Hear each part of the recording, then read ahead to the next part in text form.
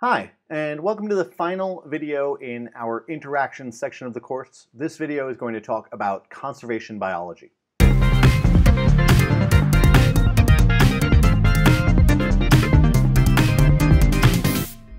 This is a watercolor by John James Audubon of the passenger pigeon. At the time that Audubon made this painting, the passenger pigeon was probably the most numerous bird in the world the North American flock of passenger pigeons was multiple billions of birds in size. When migrating, the flock would pass overhead in a number of days, and as a result, they were really easy to catch, kill, and eat. And that's what Americans in the 1800s did. They caught, killed, and ate the most numerous bird in the world until it went extinct. The last passenger pigeon known to exist, Martha, died in the Cincinnati Zoo in 1914. You can find her stuffed skeleton in the Smithsonian, which is where I took this picture a couple of summers ago.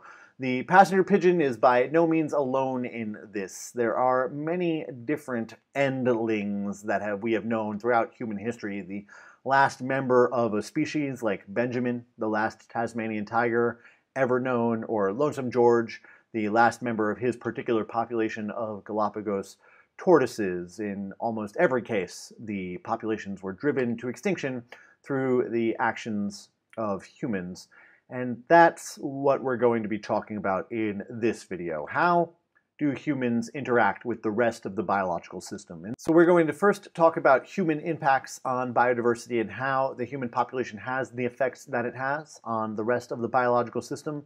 And then we'll talk about approaches that are taken in conservation biology to try to prevent this kind of thing from continuing to happen and keep our ecosystems as functional as we can into the future of our life on the planet. Let's start with some good news. The human era is one of maximal biodiversity on the planet. In the entire history of the planet, biodiversity has never been as high as it is right now during the ascendancy of the human population. Humans need the ecosystems that this biodiversity provides. They provide us with ecosystem services and the various other things that we need in order to remain alive and functional in the world. And as we've discussed previously, ecosystems need biodiversity. The smaller the populations of organisms in an ecosystem, the less diversity there is, the less resilience those populations have, which leads to even smaller populations and less diversity and less resilience, and so on and so forth, down what is known as the extinction vortex.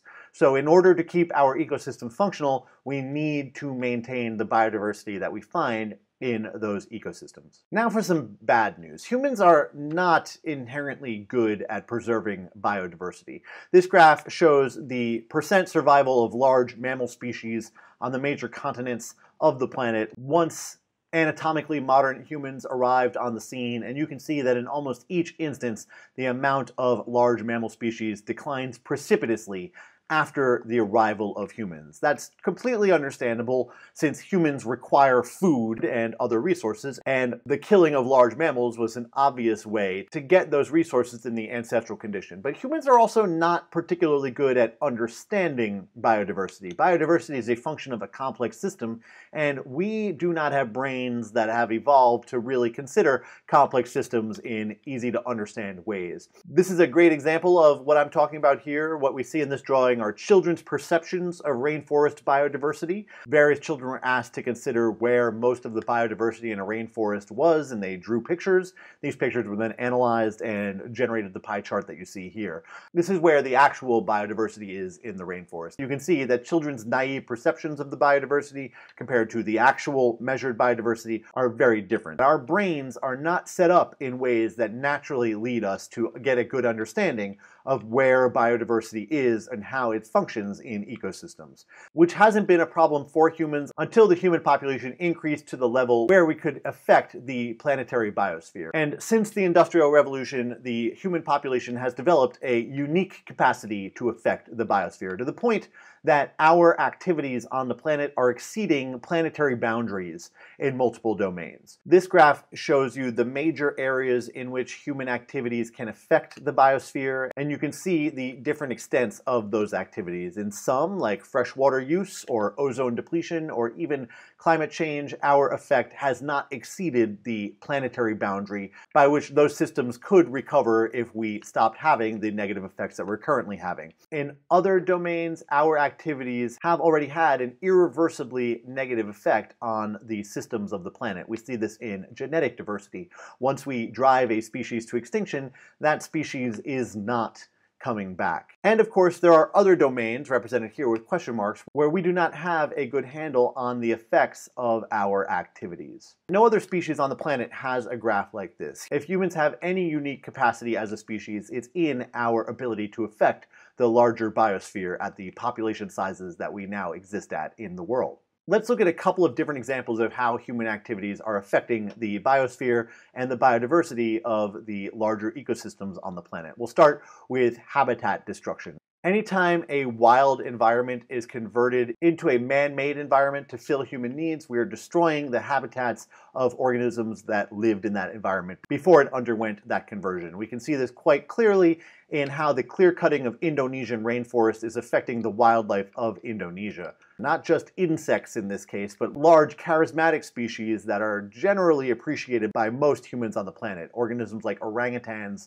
tigers, and elephants. We can see what has happened to the rainforests of the large Indonesian islands of Sumatra and Borneo over the last 50 years, and in both instances, the amount of rainforest present on those islands has dramatically decreased, which has had tremendous effects on the populations of these organisms and all of the other organisms that live in that rainforest habitat. Of course, this has knock-on effects as well, in that clear-cut land is more prone to erosion and loss of soil, and the burning of rainforest in Indonesia produces large clouds of smoke that then enter into the atmosphere and affect the air quality of neighboring countries as well.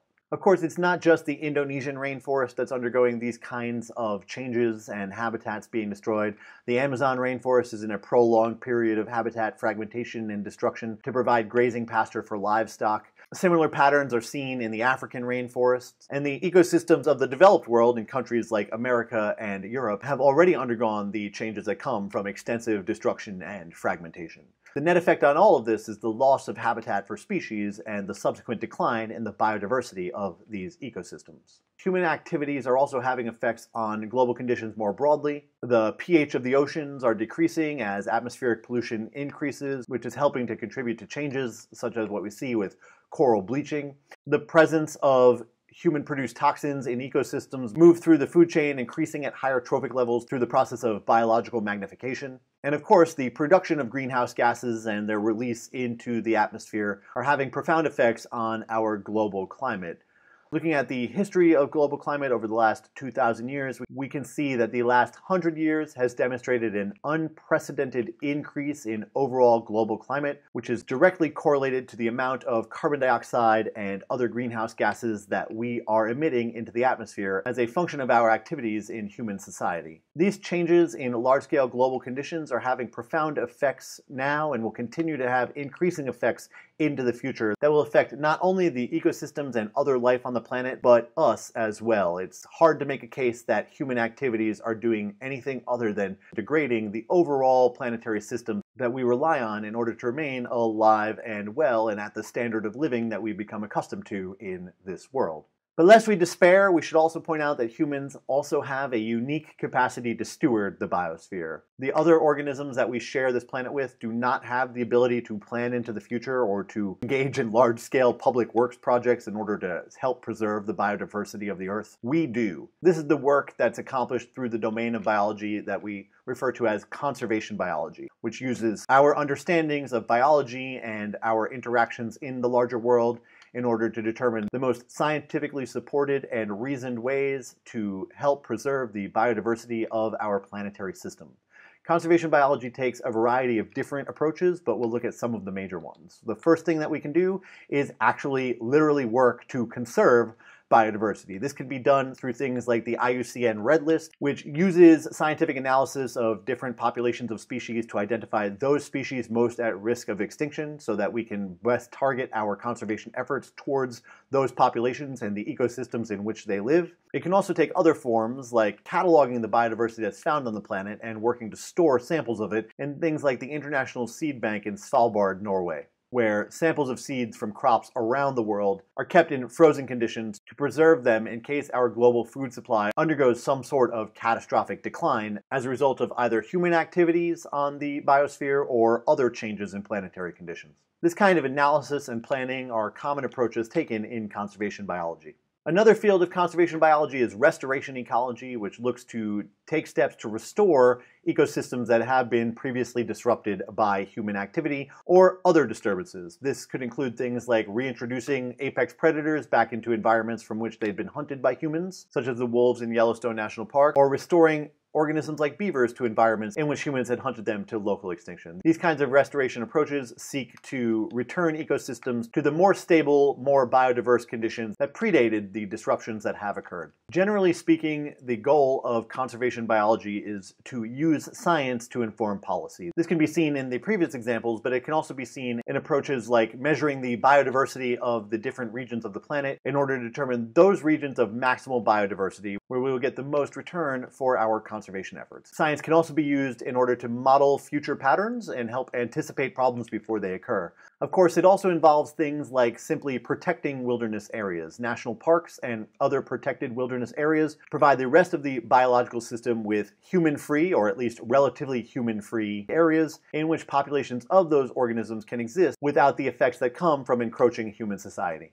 And finally, we can appreciate nature for itself. Although we might want to forget it from time to time, humans are absolutely a part of nature, and as a result, we feel a clear connection between ourselves and the rest of the biological system. This is what E.O. Wilson has termed biophilia, our natural love for the natural world. And by cultivating this biophilia among ourselves and our fellow members of the human society, we can start to demonstrate that not only should we preserve the rest of the living world for the benefits that it provides us as humans, we should also preserve it for the sake of itself. What is our responsibility to the rest of the living system? It's not my role to answer that question for you, but it is my role to encourage you to think about that question and to come up with the answer that best resonates for you. I will note, however, that given how needy we are as a species in terms of what we require to survive and reproduce, if we continue to tax the biological system of the Earth in the way that we are currently doing, eventually the next dodo that goes extinct will be us. Thanks so much for watching our video on conservation biology. Make sure you can do the following things here at the end. Make sure that you can explain how human societies have historically affected biodiversity. Make sure you can describe the major effects that our modern human society is having on planetary conditions and provide examples of those effects. And finally, make sure that you can justify why scientifically informed conservation principles can benefit both humans and the rest of the biosphere. If you can do those things, you're doing great. If not, that's okay too. Take a moment here at the end and write down any questions that you have so that you can get the answers that you need. Thanks again for watching. I really appreciate it. Have a great day. But wait! Don't go yet! Congratulations! You did it! You made it through all of these videos, which is fantastic. You have an entire advanced level course's worth of biology in your brain now, which is definitely something that you didn't have when you first started watching this video series. And you did that. You are the one who watched these videos. You are the one that engaged with these videos in the way that you needed to in order to get that understanding into your brain. And I want to say thanks for that. I hope that these videos were useful for you and I hope that on the whole you found them to be a decent and relatively watchable experience. But I also want to encourage you not to stop now. If you have questions, you need to get answers to those questions. You can always get in touch with me by using the information down below the video, but I'm sure you can also get in touch with the other biology educators in your lives in order to continue that learning process. This course is just one step in a much larger journey towards your biological understanding. And if you're like me, that's a fascinating journey to be on, and it's one that's never going to stop. So thanks again for watching all of these videos. I really do appreciate it, and I hope that you have a great day, that you've had a great experience through them, and I hope that you have a great life both as a biologist and as an informed and scientifically literate citizen of the world. Thanks again.